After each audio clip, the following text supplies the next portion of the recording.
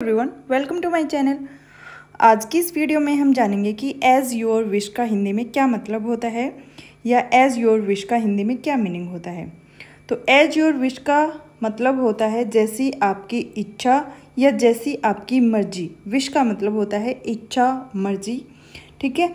तो यहाँ पे एज योर विश की जगह हम एज यू विश भी बोलते हैं कि जैसी आपकी इच्छा हो, या जैसी आपकी मर्ज़ी हो। फॉर एग्ज़ाम्पल आप किसी से किसी चीज़ की परमिशन लेते हैं तो अगला आपसे कह सकता है कि एज योर विश आप अपनी इच्छा के अनुसार ये काम कर सकते हैं, आप अपनी मर्ज़ी के अनुसार ये काम कर सकते हैं, ठीक है?